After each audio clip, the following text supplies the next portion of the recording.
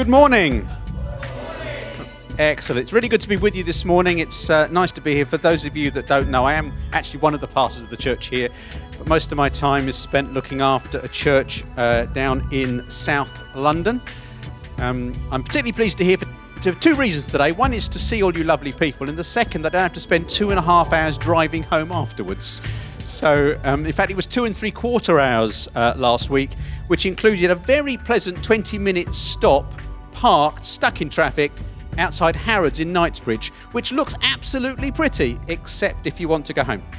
So, it's, um, it's nearly Christmas. Uh, Warren's been taking us through uh, the Christmas story and uh, last week looked at the last part of Luke's Gospel with you. Last part of uh, chapter 1, sorry, of Luke's Gospel with you. So um, I just want to see how much you learnt last week. So, so what were some of the key things? By the way, if, if, you're not familiar with me preaching, I, I ask lots of questions and I um, listen to the answers as well. So I wonder, what were some of the, who was here last week? About four of you. I'm slightly suspicious, particularly as Warren wasn't here last week and I thought he was preaching. So uh, let's try that again. Who was here last week? Oh, we're in double figures now. Fantastic. What were some of the key things that you learnt from last week? Because I wasn't here, so it just helps me. What were some of the key things you learnt last week?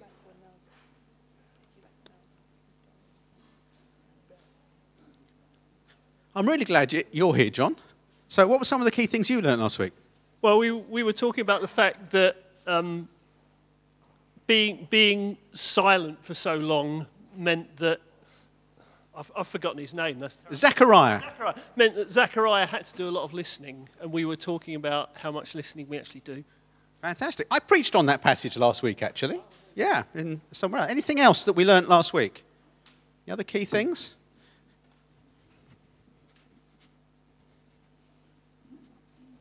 That Elizabeth and Mary were able to chat about the babies in that was within them. Okay. I, I understand occasionally you, you, have an angelic visitor tips, tips up at some point during the sermons. Is that, is that right? Yeah. Did, Clarence, that well known biblical character. Clarence. So, did Clarence come last week? Did, did he make a helpful contribution last week? What, what did you learn from Clarence last week? Anybody else? Hannah, I'm really glad you're here.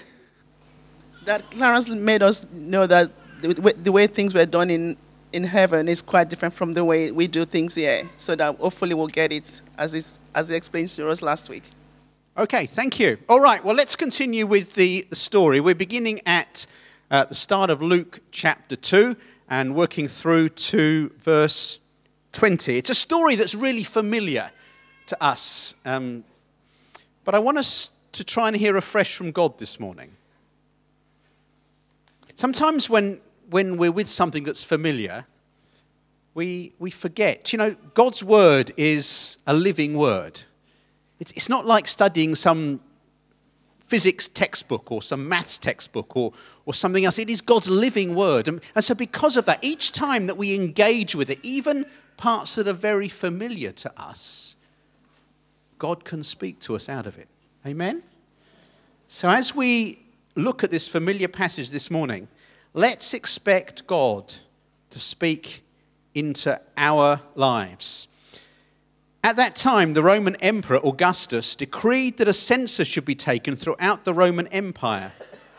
This was the first census taken when Quirinius was governor of Syria. All returned to their ancestral towns to register for this census. Now, Caesar Augustus became ruler of the Roman world in around 27 BC. And uh, the purpose of this census was to, it was a regular um, event, and it was to sort out poll tax, basically, and to sort out military conscription. So they knew exactly who they had, who had to pay how much, and also who had to serve in the army. Although the, the Jews were exempt from serving in the army, but everyone else had to do their military service. And because Joseph was a descendant of King David, he had to go to Bethlehem in Judea, David's ancient home. He traveled there from the village of Nazareth in Galilee. He took with him Mary, his fiancée, who was now obviously pregnant. And while they were there, the time came for her to be born. She gave birth to her first child, a son. She wrapped him snugly in strips of cloth and laid him in a manger because there was no lodging available for them. There's some real irony hidden just under the surface here. Because Augustus, the Roman emperor, believed he was God, he was divine. And, and he believed that he was running the world. In, in fact, probably running the entire universe. Because, after all, he's God, he thought. And yet, here's God, the real God, ordering events to get Jesus born where it was prophesied he would be born. Because the emperor, who thought he was running the universe, said everyone's got to go back to their original place. Isn't that amazing? I just, just find as we come into the story, just amazing. We, we forget sometimes just how big and powerful our God is. So here we've got this event just being organized by God, even though Emperor Augustus thought he was running the universe. Here he is just doing God's will. Amazing, isn't it? I find that amazing anyway. And they placed him, the baby Jesus, in a manger. Now, in homes at that time, um, the, the way the home was, typical home was constructed, is that the family lived and slept upstairs, and downstairs was where the animals lived.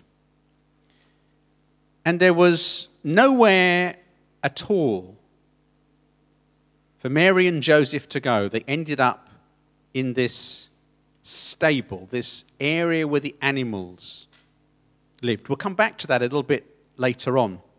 A couple of weeks ago, I was uh, visiting um, two of my grandchildren, and their mum said to us, There's an open air nativity taking place in the centre of the village. Would you like to go?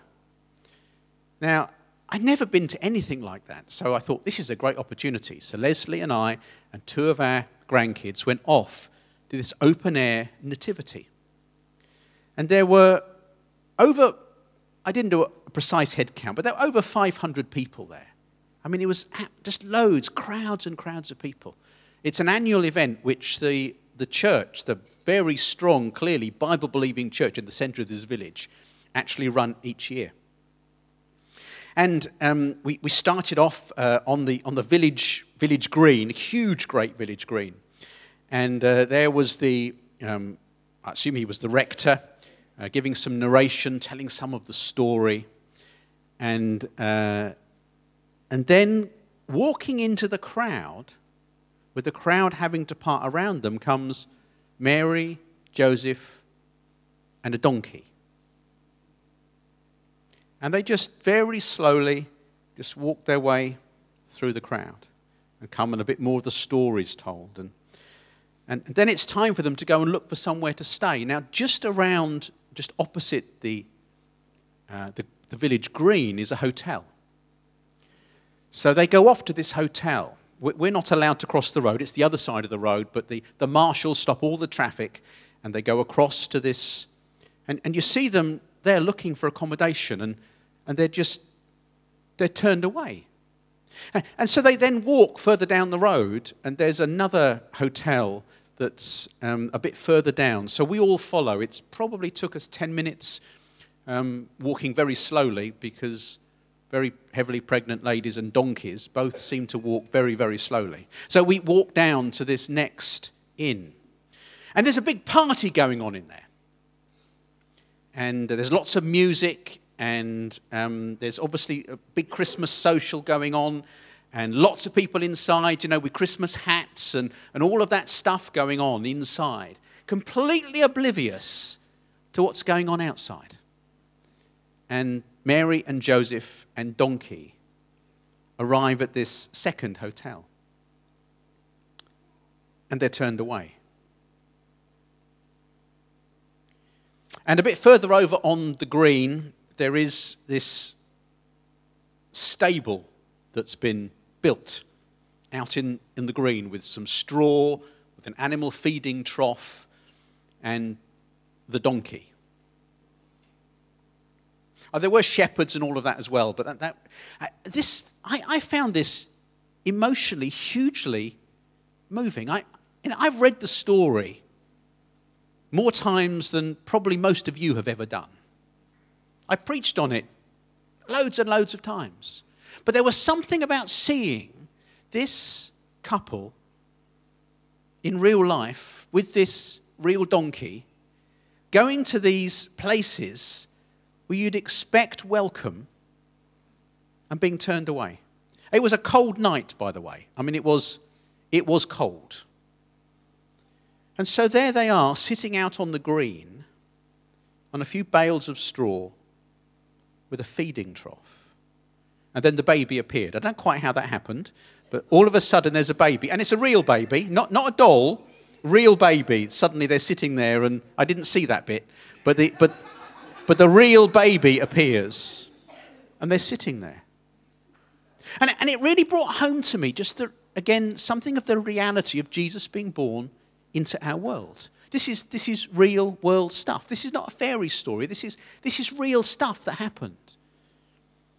And just as we were walking down the road, following them, going from one place to another, looking for somewhere to stay, here is the Son of God, the creator and sustainer of the entire universe, with this poor couple, homeless, nowhere for them to go. You know, God could have quite easily arranged for some nice, fancy accommodation in a nice, nice place. But God so loved the world that he sent his Son to be as one of us, born there in Bethlehem. So the story goes on. That night there were shepherds standing in the fields nearby, guarding their flocks of sheep. Suddenly, an angel of the Lord appeared among them, and the radiance of the Lord's glory surrounded them. They were terrified. But the angel reassured them. Don't be afraid, he said. I bring you good news that will bring great joy to all the people.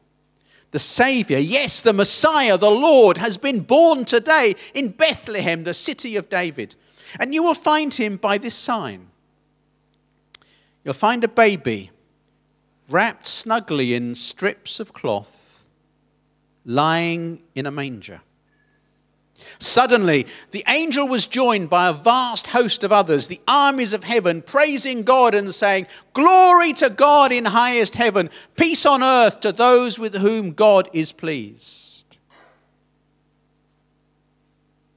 Now, it is hugely striking that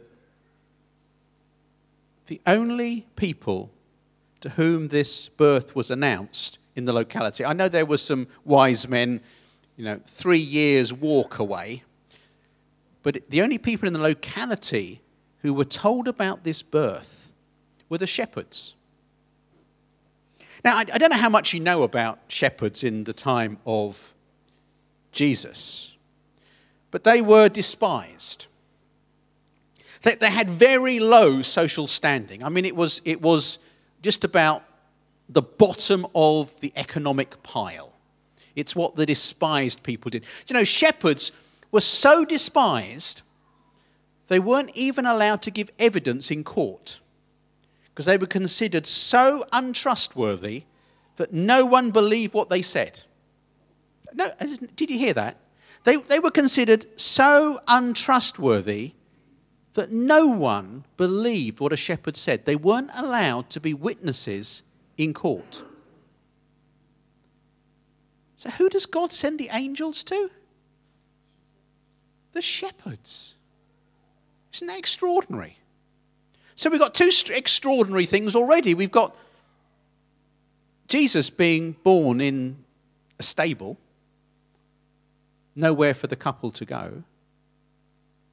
And then you've got the announcement being made to shepherds. If, if Jesus was being born in Greenford tomorrow morning, who do you think the angels would announce his birth to? Here. We haven't got any shepherds, so you're going to have to think. Who do you think he would announce? Who do you think here they would announce the birth to? What do you think?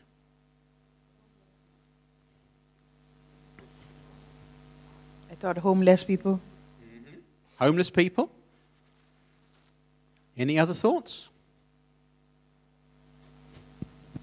Prisoners. Prisoners, yeah. Any other thoughts?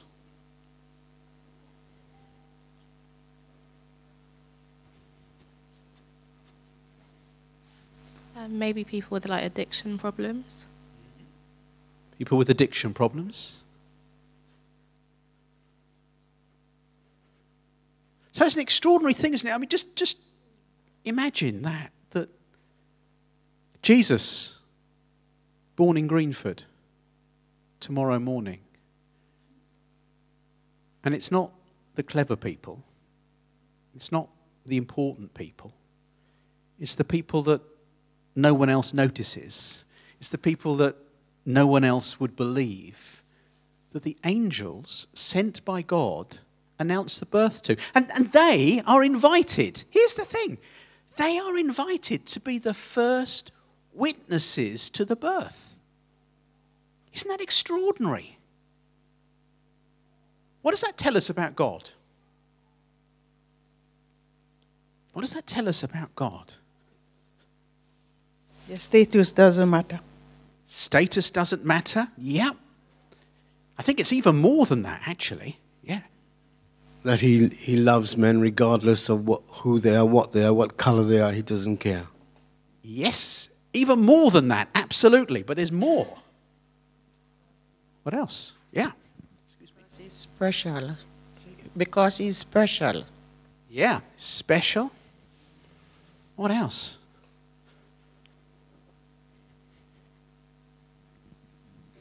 He, he cares for those who are um, suffering mo- most.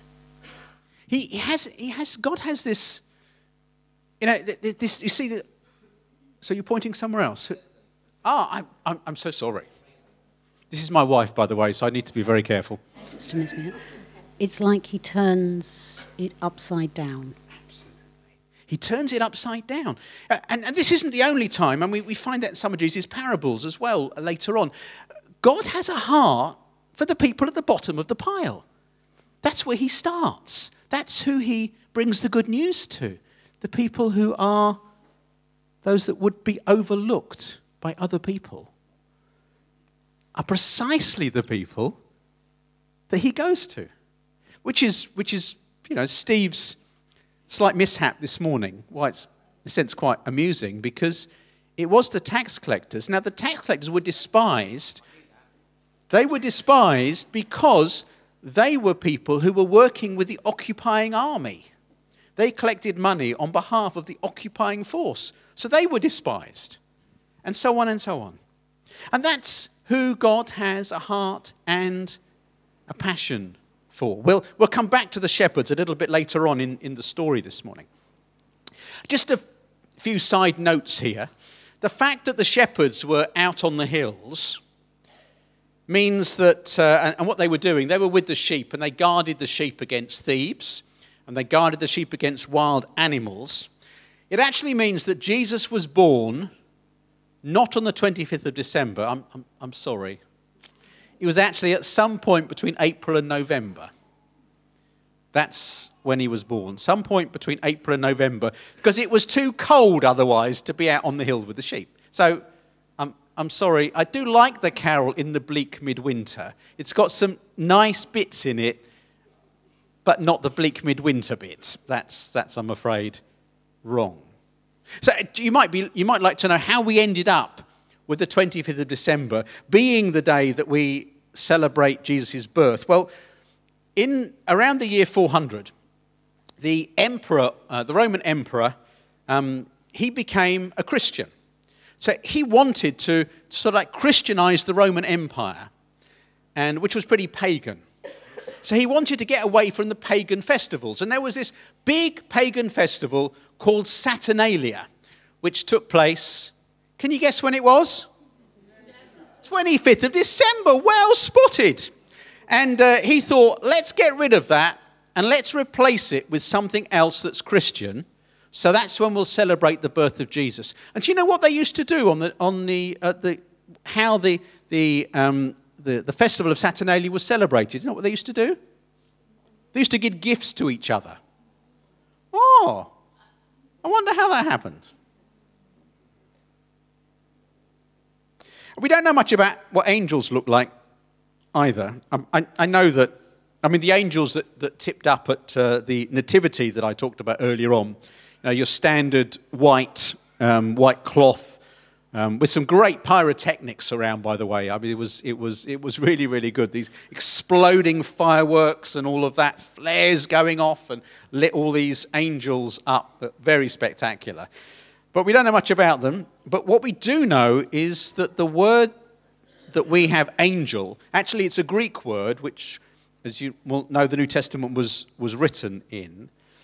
And they were actually messengers. So that the word angel literally means messenger. And, and it's someone sent by God to explain something.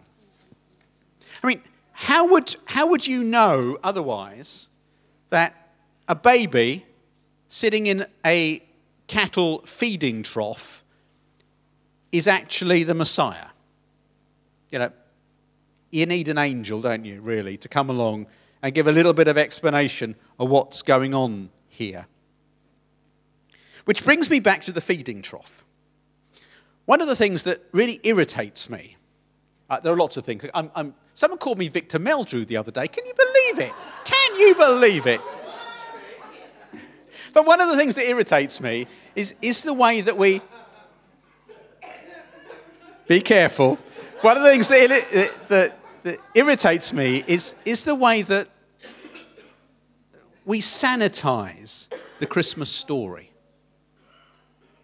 You know, going back to that, that, that green, you know, it was very clean hay, and it was a very, very, very, very nice manger, freshly made, freshly tidied up and cleaned, and it wasn't smelly. When you go into a place where animals live, it's smelly it's dirty. You know, animals, you know, they tend to go to the toilet where they are. You get the thing here? And, and have, you ever, have you ever closely looked at a trough that cattle feed out of? Have you, have you ever, ever inspected one? Well, well, have a look next time you're somewhere where there's some cattle. Um, have you ever watched cattle feeding? There's almost as much comes out of their mouth that goes in. I mean, it's just disgusting. So this, this feeding trough will be covered with animals' slobber and probably some stuff from the other end as well because they don't mind where they go. Do you, you know what I mean? So, so this is an unsanitary, smelly, disgusting context. And this is where God, the creator and sustainer of the entire universe, chose to send his son to be born. To be as one of us, to live his life among us. Such is God's love, such is God wanting to identify so closely with us as human beings. And the angel's message, in fact, almost, I think, uh, there may be one or two exceptions, but nearly whenever an angel turns up, the first thing they say is, Absolutely. Don't be afraid. Be joyful because God has sent the Messiah. God has sent Christ, who is Savior, into our world. Now, with all the Christmas tree and stuff, we can sometimes forget why it was that Jesus came. Because he came as Savior, which implies he came to save us from something. So, what did he come to save us from? Just a quick reminder. Sins of the world, Okay, what's a sin? something you do bad. Something we do bad before God. So, he came to save us from the consequences, from, from the punishment for the things that in God's sight we've done that are bad. Absolutely right. That's why he came. And as Steve said earlier on, there is this close connection. The reason that he came was to die. These two events, the birth and the death, are actually part of the same event.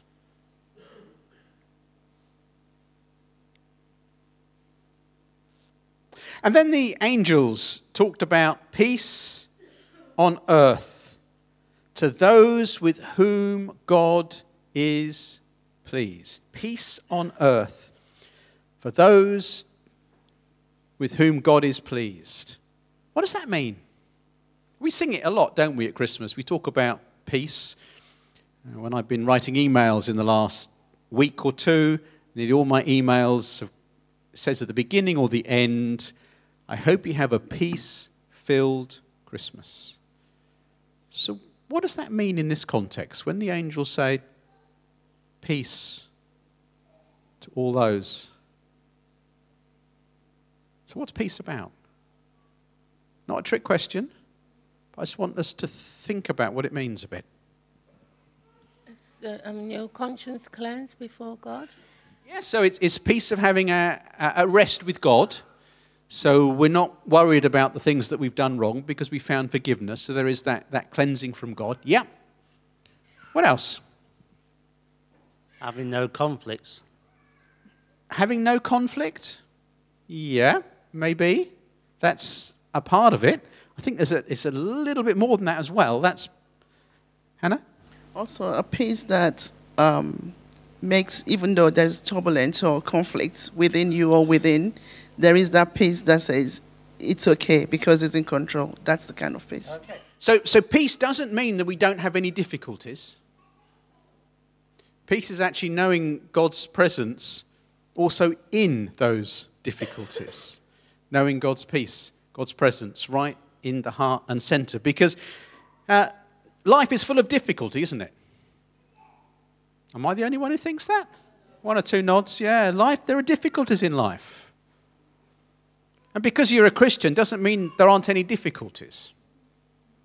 There still are difficulties. But in that, because we know who God is and we know what God is like and we know that God's heart is for us, there is a sense of peace and confidence and trust in God. So we come to the end of the story, or the part we're looking at today. The story hasn't finished, but the part we're looking at today. So, verse 15. When the angels had returned to heaven, the shepherds said to each other, Let's go to Bethlehem. Let's see this thing that has happened, which the Lord has told us about. They hurried to the village and found Mary and Joseph, and there was the baby lying in the manger. After seeing him, the shepherds told everyone what had happened and what the child had, sorry, what the angel had said to them about this child. All who heard the shepherd's story were astonished.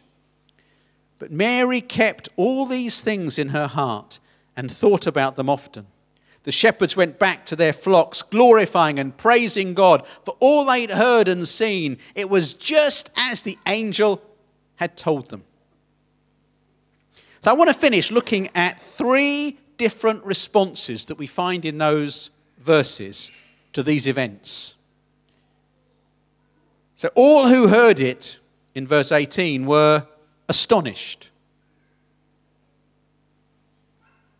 So let's try and put that in Greenford context. So we've already imagined a little bit about Jesus being born in Greenford tomorrow and who the angels might go to. So let's just imagine that that's happened and the homeless, the addicts, the prisoners, they've come along, they've visited, they've gone off, they've told people about what they've seen, and people that heard it are amazed. So, what does that actually mean? What does it mean in practice for those amazed people? Say again? Telling the story. Hmm. Yeah, the shepherds told the story. I'm thinking about those amazed people. What does it mean in practice? What difference does it make to them, do you think? Excuse me? Well, it, it all depends on their response, whether they believe it or not. So some of them might just dismiss it as a flight of fancy. Others might think, mm, maybe it's true, so I'll go and do a bit more digging and find out for myself. So, because you can be amazed and it make absolutely no difference to your life at all, can't it? Wow, that's amazing. What's for dinner? Yeah? And I, and I think in this story here, that's one of those responses. Wow! Angels, shepherds, baby in a feeding trough. Whoa, that's amazing. What's for dinner? Second response Mary's response in verse 19. Mary kept all these things in her heart and thought about them often. So, what does that response mean today? What does that look like? Mary kept these things in her heart and she thought about them often. What does that mean? I'm really glad you're here this morning, Hannah. I feel like talking. Uh, it means, uh, for me, I think, Mary probably think, God has said this. When is it going to happen? I don't know how I'm going to react when it happens. Okay, so she's turning things over, thinking about it. Yeah, anything else?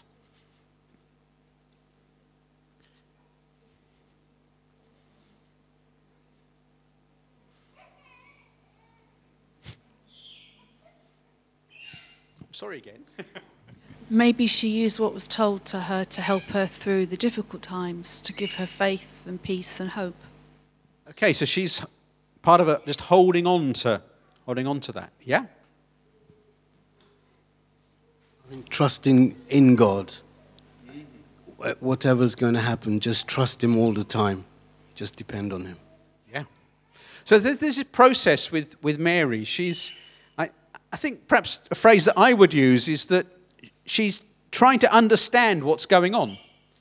I mean, it is a little bit mind blowing. She was probably a teenager, um, perhaps a young teenager, in fact.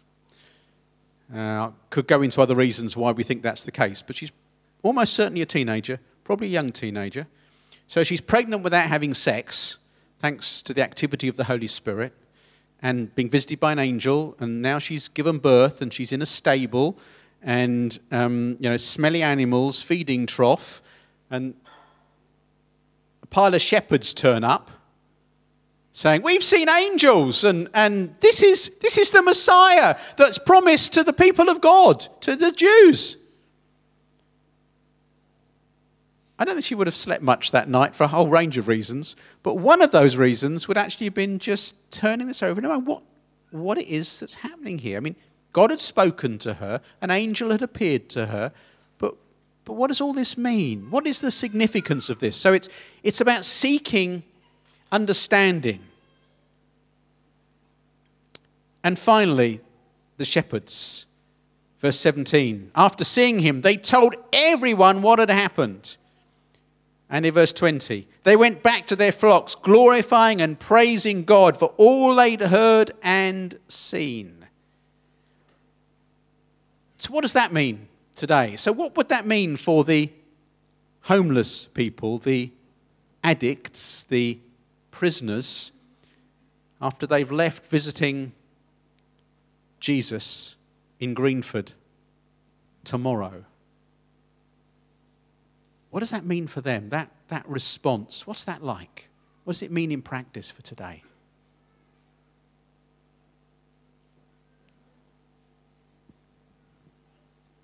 Gives them hope that there is a, a, a God and He's He's willing to uh, be involved in your life. Okay, gives them hope. What else?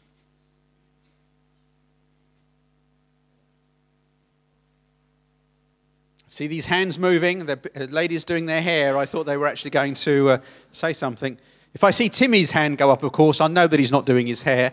But um, uh, do you want to help me out here? What do you think is happening with these shepherds, Timmy? Someone trust us. Say again? Someone trust us. Okay, so part of their response is actually, we aren't insignificant. We actually matter. God really did speak to us. It wasn't a practical joke. This is real. There is a God in heaven, and He cares about us. And boy, are we going to tell everybody the story.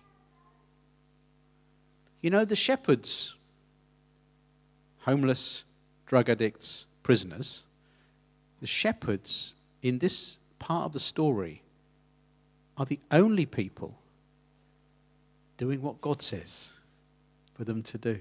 Their response is a response of belief and it's a response of obedience. They're giving all the glory and honor to God. They're not saying, Whoa, aren't we special people? Wow, look at us. We're the ones God chose. They're saying, Isn't God amazing? Isn't He awesome? Isn't what He's done just incredible? Oh, by the way, um, you, you should know what God has done. The Savior, He's been born. He's been born. We've seen Him. Everyone they see. They don't care that people think that they're shepherds and so they're not fit to speak about. They're not fit to be witnesses to the truth. They don't care. Everyone they see. It's amazing what God has done. Jesus has been born. We've seen him. The Savior is here.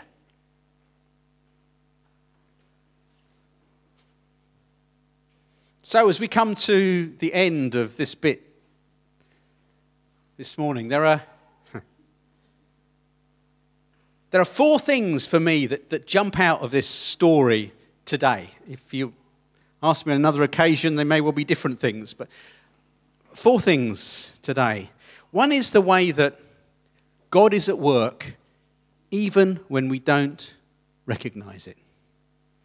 One of the things you would have, I'm sure Warren would have made the point last time with the, story of Zechariah and Elizabeth. These, they've been praying for years. They didn't realize that God had heard their prayer. God's at work. Even when we don't see it, God is there at work, even when we're not aware of it. Secondly, God cares about those whom society does not value. Those people at the bottom of the pile. God cares about them. God cares about them. He has a heart and passion for them. He turns the value system of our society upside down. God's been accused of being biased to the poor. And I think that's a fair accusation because I think it's true. God is biased to the poor.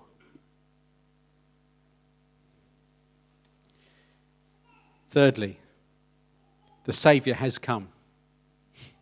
The Savior has come. And He's bringing peace into our world. He brought peace all those years ago, and that peace is still on offer today. Peace into people's lives, peace into people's circumstances. But finally, you know, being amazed is not enough.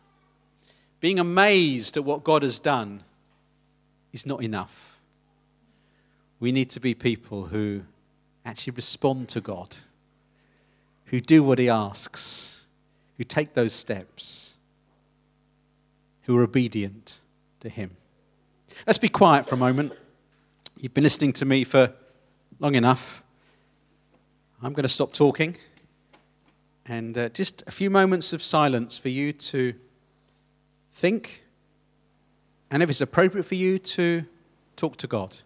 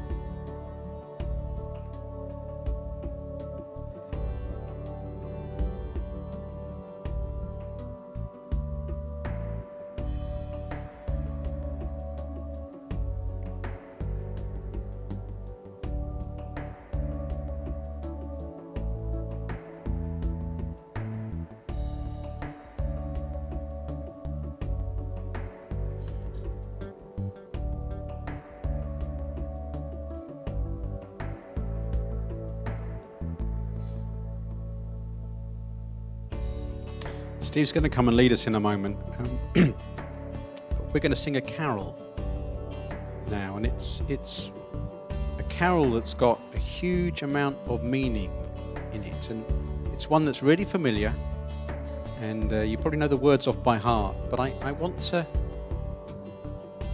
just pull out some of those words. It's it's the carol once in royal David's City. Stood a lowly cattle shed, mother laid her baby.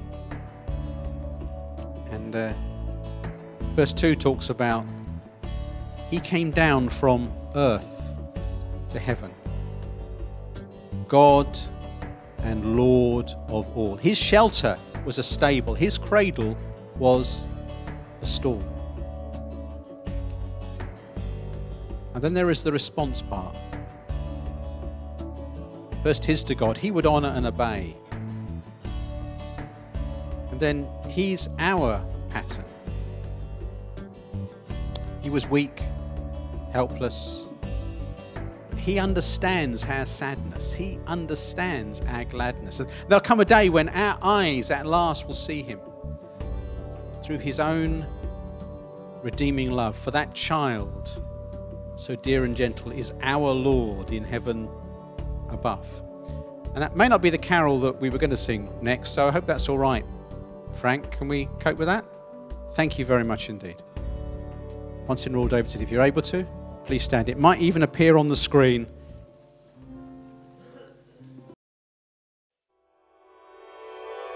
We do hope you've enjoyed and benefited from this presentation.